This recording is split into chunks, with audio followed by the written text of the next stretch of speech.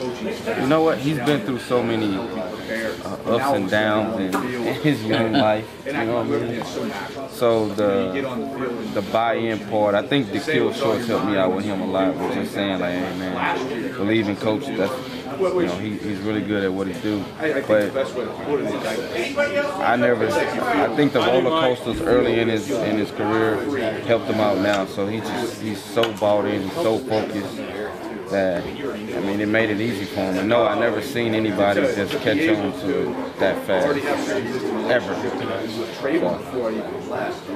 Last year I was, I, I knew him in the building. and Got a little construction going on underneath. Yeah, I can't. I can't hear it. What? What? anyway, he. Uh, absolutely makes a huge difference as far as he came, as much as he did, now he goes into a season where people are pointing at him. He has to.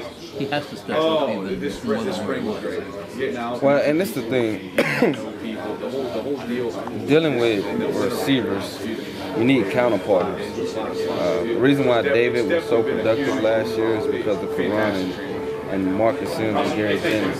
That if you double him, the others will rip you apart.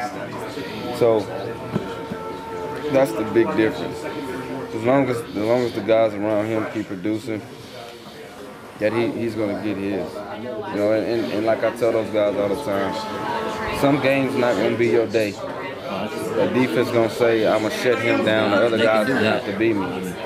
And it kind of happened to David towards the end of the year, but now, uh, and you just see other guys prevail in those games. So if you, like I tell my guys, we all gotta help each other out. Uh, certain days gonna be yours, and certain days gonna be his. Anybody else need Coach Call? What are your expectations for this spring, and what do you hope to accomplish? Uh, just the the the, the backups, the, the two depth guys. You know, we got we got three guys competing out there for for a spot right now. Uh, TJ is the front leader for it, uh, but uh, you know, watching Reggie and, and, and Dom, Anybody else you know, step up to the plate and, and they're night and day better from what they were a year ago, which is really refreshing. So uh, those are my, my, my three biggest projects right now, just getting those guys ready to, to be serviceable backups, including with uh, Will and, and Drew Bowen, and you know, my new addition with Tevin Bush too. So. What do you attribute the, the improvement to? Like, what, what have they done from last year to this year that's caused that, that drastic improvement? Well, it's, it's year two uh, under the teaching.